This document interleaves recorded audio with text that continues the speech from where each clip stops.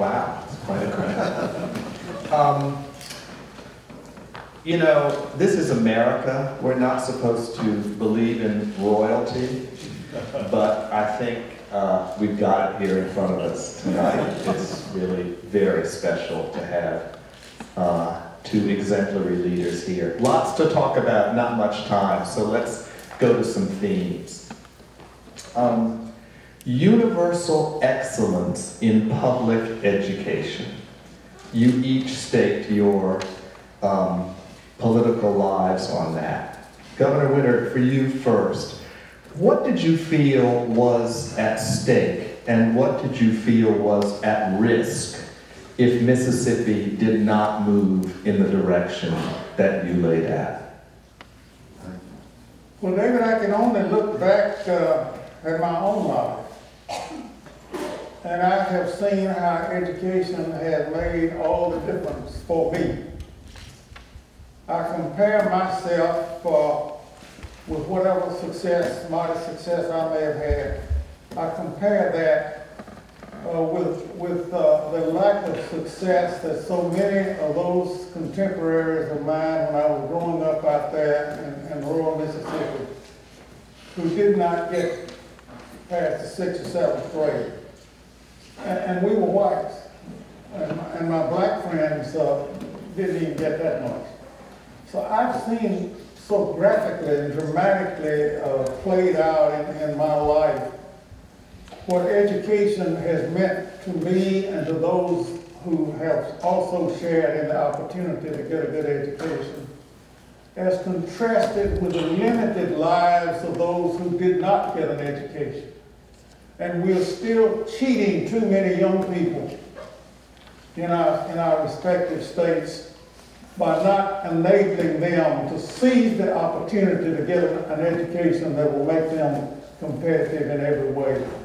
It's more important now than it ever was. We could get by with a lot of unskilled people. In fact, when I was growing up, we can't do that anymore. We're competing on the basis of our, of our ability to perform in, the, in this world marketplace. We're in this world global marketplace building here. We're competing in that kind of world, and we can't compete unless we compete education. You have the same uh, kind of uh, belief in, in, in, the power and necessity of universal excellence in public education. Can you speak to why it's so important for your vision for this state? Well, like William, I grew up in rural North Carolina. Uh, when, they, when he was standing on that cotton bale as a boy, I leaned over to Governor Winter and I said, did you ever pick cotton by hand? How many of you in this room have ever done it? Well, I'm surprised. it's pretty tough. uh, but I saw poor folks uh, I didn't realize, when back when I was in school, the real evils of segregation. But I sure saw the difference in opportunity, uh, not just between black and white, but between poor and better off. Uh, my mother, who was a teacher, a graduate of the University of North Carolina at Greensboro, another one of our great universities. Uh, and my father, who wasn't as, as enlightened as she was, uh, taught me how important education was, and they taught me what was right and wrong. It's a moral issue. Mm -hmm. But it was, it was when I went to one of our universities that Tom Ross heads up in such a great way. Uh, and by the way, I hope it's all right for me to tell you all that I went to NC State. law school. But I came here to law school, and my wife graduated here in education, and two of my children got undergraduate degrees here, and the other two got graduate degrees here. How many of you have a Carolina degree for everybody in your family. But when I became, when I, first of all, I might as well say this now. Uh, I got interested in politics and committed to it when a great man named Terry Sanford, son of this university, ran for governor. And he ran about on education. I want to tell all you students here tonight, I came over from Raleigh to hear Terry Sanford lay out his 10-point program for education on this campus.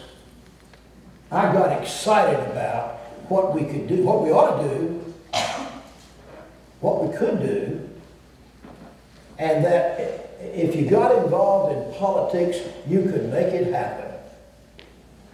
I have to say to all the students here tonight, one of the things that, that has really worries me today is that I hear so many of our bright students saying, well, they care. They care about the issues. They'd like for everybody to have a good education. They would like for us to have equality of opportunity. But they say, but we don't want to get involved in politics. There's too much fighting. It's too ugly. We're going to stay out of it. We'll, you know, we'll uh, work with a nonprofit. Or we'll go out and be entrepreneurs. And they are, from what I'm hearing, too many of them don't plan to do anything to change things at a time when the, some of the extremists in our society do not support public education. They support vouchers. Uh, they want to cut the funding down and down and down. And uh, I hope very much that one of the greatest things about the, the, the, the heritage of this university, a place where I learned my political philosophy. I was a student at State. I learned politics at Carolina. and under Frank Porter Graham, I will never forget that campaign. If any of you students haven't read the story of Frank Porter Graham, I want you to read it. He lost the campaign. He lost the campaign with, with uh, racial things as bad as you ever had in Mississippi. And I, I, but, but then Terry Sanford came along, and because those of us who believed in progress and fairness and equality and the possibilities of human beings, we got him elected, and we built a pretty strong organization that's still trying today. So let's talk about some unfinished business today, if, if we can, because um, many of the issues that we face, in fact, demand the leadership from the public sphere. In the South today, we, we are the worst part, worst region of the country when it comes to the chance for a child born to a low-income family to get to a better place as an adult. It's harder for a child born poor in the South to realize the American dream in contemporary America than in any other part of the nation. How do we take a challenge like that on in a time when uh, perhaps not many people feel uh, called by the moral urgency of that question, and many people don't believe that we, we can even make progress on it? You two, as governors, um, made the impossible possible. How would you take on this enormous challenge, which in many ways I think is the unfinished business of education, the liberating effect that it needs to have on upward mobility? What would you say to this challenge, Governor Winter, Governor Hunt, the challenge of upward mobility, the, the difficulty still of children to escape the stickiness of poverty? First of all, David, by being aware of, of the challenge. There, there are so many people now who really don't understand the critical, the really critical decisions that have to be made that will enable another generation of Americans to enjoy uh, the fruits of living in this free country of ours. And so it's a matter of awareness on the part of more of us that we cannot live just our individual lives within the, in, in, in the small uh, contours of our, of our normal daily, daily living. We have to reach out and find, and find opportunities to improve the quality of life for those around us. And that is particularly true in the South, where we are, where we are still having to overcome uh, those, uh, those centuries of, uh, of, of, of racism, those centuries of racial in- in- intolerance and discrimination, which uh, will take, will, which takes, will take still additional effort. Uh, we have not solved that problem. Uh, the Supreme Court, to the contrary notwithstanding, we still have so much left to do to provide the basis for equal opportunity in this country and, and, and, and, and, and equal uh, quality of life in this country. And that gap, frankly, is widening. I'm, I'm afraid it's widening. We live under a social contract in this country. It was a contract that was made a long time ago. The Declaration of Independence said that we pledge to each other our lives, our fortunes, and our sacred honor.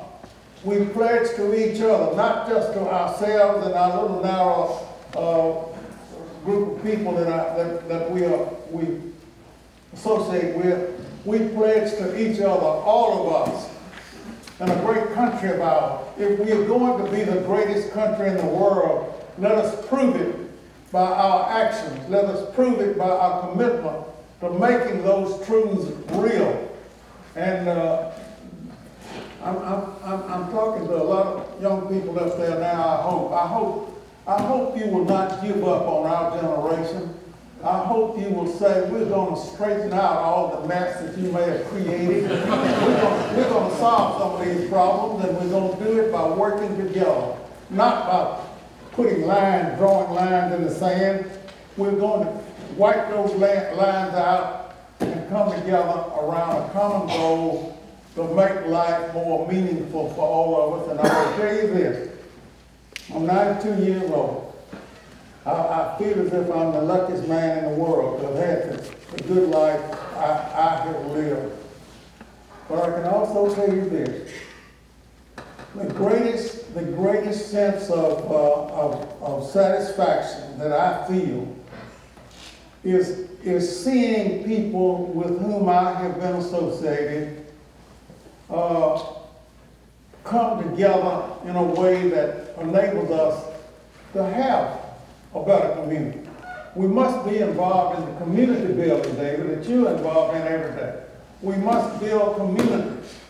We must understand that none of us is really free until all of us are free. Mm-hmm. And so that's a job that's totally unfinished. We've come part of the way, but in, in the face of the, of the, of the apathy and the cynicism that I see to my dismay around the country, let me say to this generation, this new generation of Americans, let you take great satisfaction in doing more than you would ordinarily do to make our system work, our political system, our economic system, our education system, make them work as well as they can work, and you and I know they are not working as well as they should.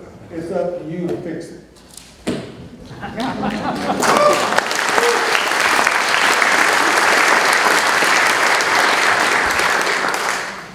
We can do this. I don't want you all thinking this is impossible, tough as it is. But we can do it. How do you do it? You appeal to the parents and the grandparents of those children. From the time they're born on. They'll do anything in the world for them. If you convince them that it's what is gonna help their family and help your community and society. People will still respond in a, in a positive, helping kind of way. We can also make great progress on education by joining hands and getting the business community involved to help us. Uh, Terry Sanford, when he ran for governor, went out and had rallies like you did. Uh, He, he, he created something called the United Forces of Education. Tom Lambeth, you remember that? Uh, they had meetings, got organized all over the state. Uh, by the way, all of you can organize a pro-education group where you live, if you want to do that. Uh, But, but he, he created the United Forces of Education. I remember just uh, after he got in, in office, he called that group, the United Forces of Education, from all over the state to come to Raleigh to go to the, uh, now the Civic Center there. It's a big auditorium. And as a student, I went down there to see it. And I saw those people just pouring in from all over North Carolina, these parents we're talking about, and people who wanted to make progress in this state. And they were a great force that helped him get his program through the legislature. You saw what William was involved in doing. You know what Terry Sanford? what kind of tax did you get through to pay for that? Was that the service tax or what was it? They, they wouldn't let us pass the service tax, so we had to split it out across sales and income tax. Sales and income. You know what Terry Sanford put the tax on? Food. Food. 3%. A lot of people in North Carolina hated him for it. By the way, he got it through. He put it on food, not because he wanted it on food. He would have much rather had it on something else. It was the only thing he could pass in a conservative legislature who said, we want to make sure everybody's paid. Do you know what that means, you all? That was the only tax he could get through. And he got it through, and everybody benefited from it. So there are ways to do this. We can do it. But folks, we got to get at it again now. Let me tell you that, that, uh, and by the way, the people are ready to do it. I do see a lot of polls these days. And I want to tell you, the people are upset that we're slipping. And they want to see something done about it at every level. With great support for this university and others, the community colleges, K through 12. They, they love the idea of Smart Start, or starting early. We, we just quit too soon, Bill. But, but, but we need to all get involved and do it again, and we can do that. The, the spirit of do it again is something I want to come back to because um, you were the bright stars, the exemplars of a whole clutch of progressive governors um, 30 years ago. And some of us would say or fear that the progressive spirit of political leadership in the South, if it isn't dead, it is hibernating pretty successfully. But Governor Hunt, you seem to be saying there's a quickening going on. Do you believe that um, we can somehow recapture or reincarnate that spirit of progressive, universal, inclusive society that you really stood for and helped um, helped us bring about? Do you think we can we can get back to that spirit of Southern progress and equity? I, I think we can, but it's not going to be easy. There's a lot of big money in America that uh, is effective in our politics because of Citizens United. And if we don't reverse Citizens United, folks, this country has got a sorry future. I think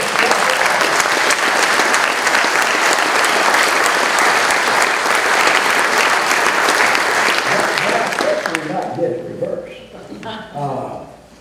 In, in any event, uh, I think that, that people are warming again to what what we have done in the past. Let me tell you, all these southern governors had, all these southern states had progressive governors.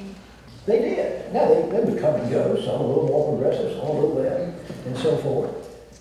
But we've got to get the business community to speak out again and to be very clear about it. We've got to get the people, the parents, the grandparents, the young people. My gosh, what a great thing for them to get involved in and lead. Lead. Uh, I, I really think we can do it, and I think it's a great challenge of our time now, because we, think of all the things we got done. He got public school kindergarten through. I worked with a Republican governor to get it in North Carolina. Uh, and, and, and we can do these big things again if we understand how important they are. And if we're willing, folks, to work and to fight in politics. I know some of you say, oh, politics is dirty. I don't want to have anything to do with it. Well, let, let me tell you thing. Folks, it's a tough game. Now, you, do you, are you willing to let education, and public education in particular, go down the drain? Or are you willing to work and scrap and fight for it? I'm gonna fight. And I hope you see it.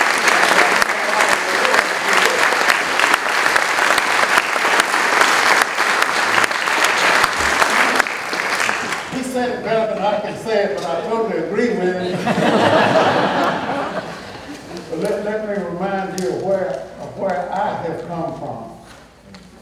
Uh, I have not come from a state that was accustomed to having, uh, Frank Porter Grahams and Terry Sanfords and, uh. I came from a state that had Bilbos and, uh, Ross Barnett's and folks like that. And you talk about, you talk about getting ready to throw up your hands and saying, I'm going somewhere else. Mississippi was a good place to leave, frankly, back when I was coming along. And a lot of our, a lot of my contemporaries did leave. But I, I'll tell you something else. You look at the Mississippi of the nineteen fifties and the nineteen sixties, and you look at it at the, in the, in, in this twenty-first century, and you see the dramatic difference that has, has taken place because some people got out there and decided that we couldn't afford to live separately, that we had to bring ourselves together, we had to make a common cause, that we were all members of the same race, we were members of the human race, and we had to use the diversity that comes from that kind of background to build a stronger community, a stronger society. I believe that is where we are nationally now, and instead of listening to the cynics and the, and the, and the, and the critics, uh, who say we are going down the tube, the best, don't ever forget, don't ever forget this. The best years in, in, in our country's history are in front of us. I strongly believe that. That will not automatically happen, however, unless we put aside these fears and distractions and divisions that now keep us from doing as well as we should.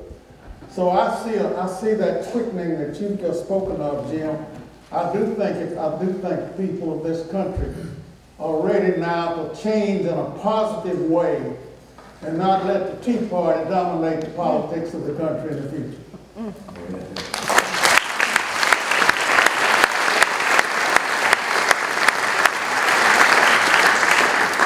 So you challenged us. In the film, um, the comment was made about the link between political leadership and citizen leadership. I thought that was very powerful. And Governor Winter, you called, you made a space for citizens to voice their aspirations and the best part of themselves in support of a progressive agenda.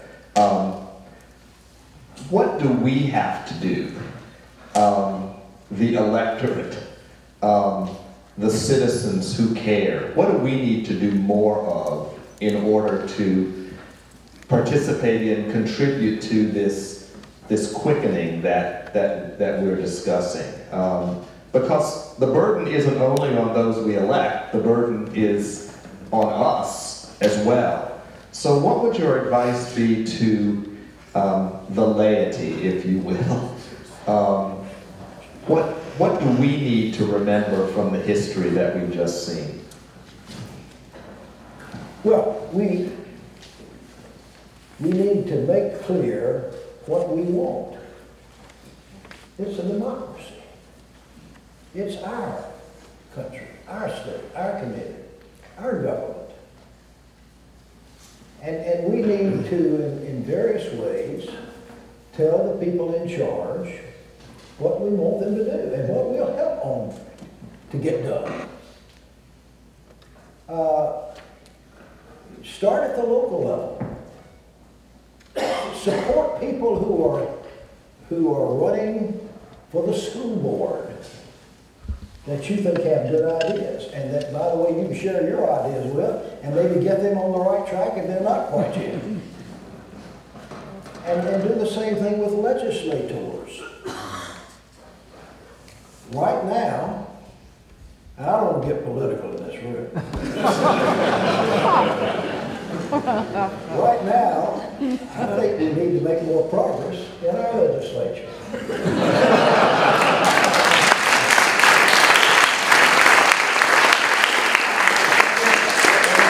And Both parties working at that, by the way, they really are. But we need to have more. And, and, and, and so you all, again, need to say what you want, what you need, what you think is right and necessary. Go out and work for people who, who believe that, as I did for Terry Sanford. And also, and I've gotta say this before we wrap this up, David. I want us to get involved in trying to do something else that is badly needed today. And that's to do something about the resegregation of public schools in North Carolina.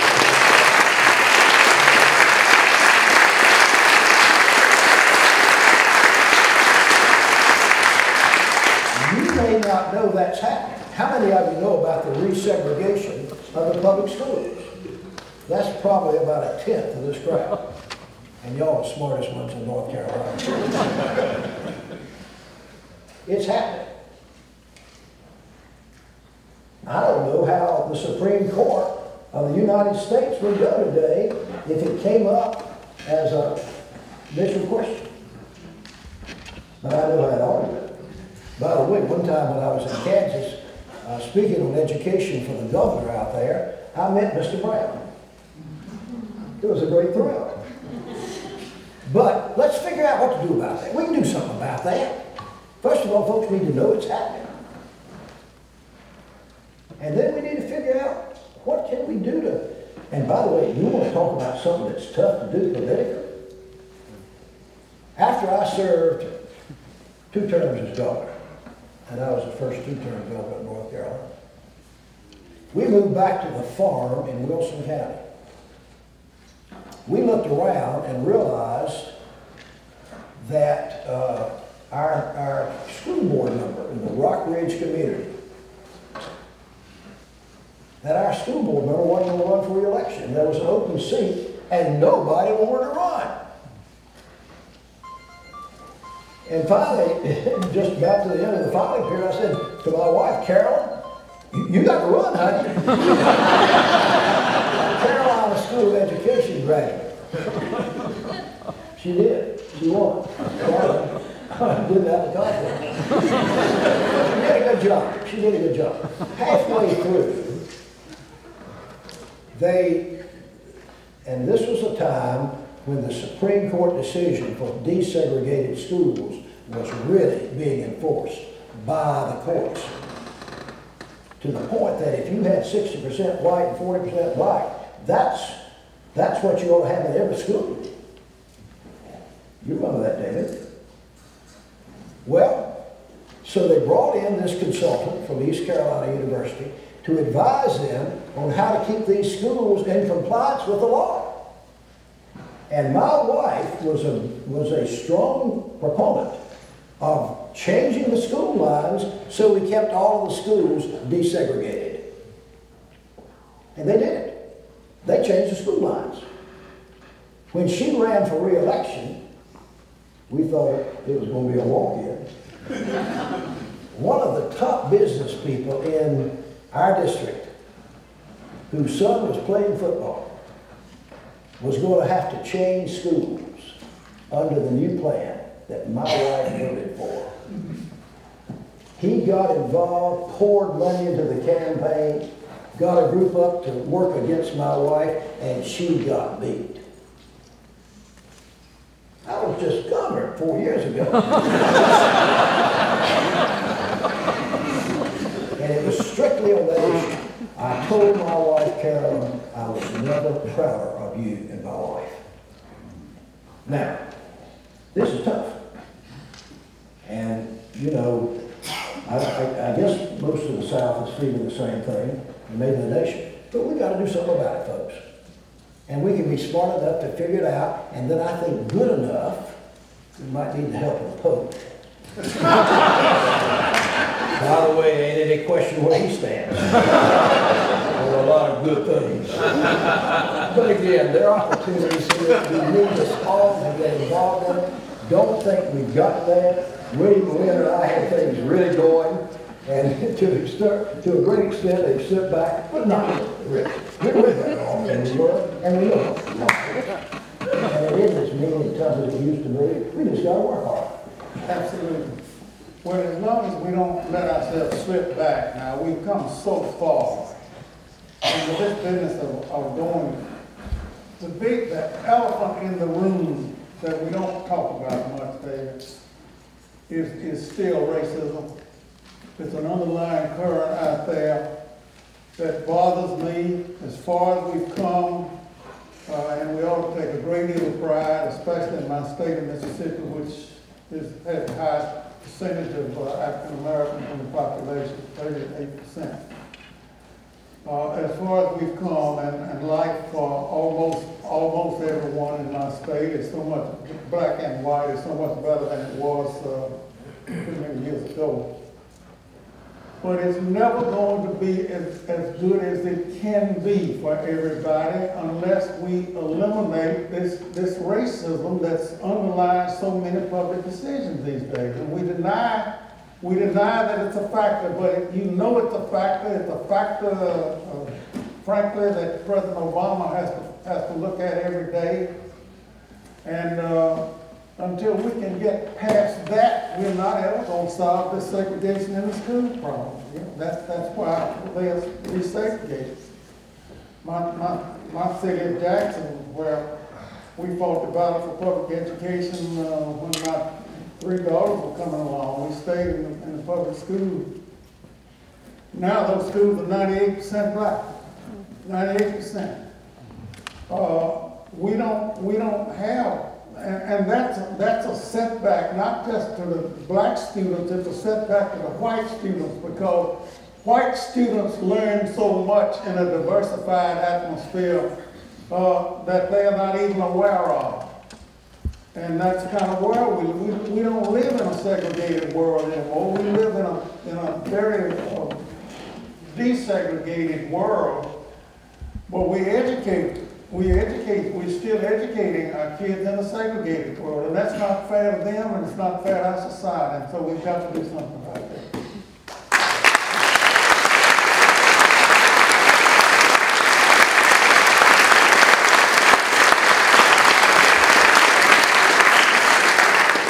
We have been graced with um, wisdom and insight, and may we all be blessed to have the courage um, in our mature years of these two exceptional leaders who are continuing to fight and push on the frontiers of justice and universal well-being. Thank you very much.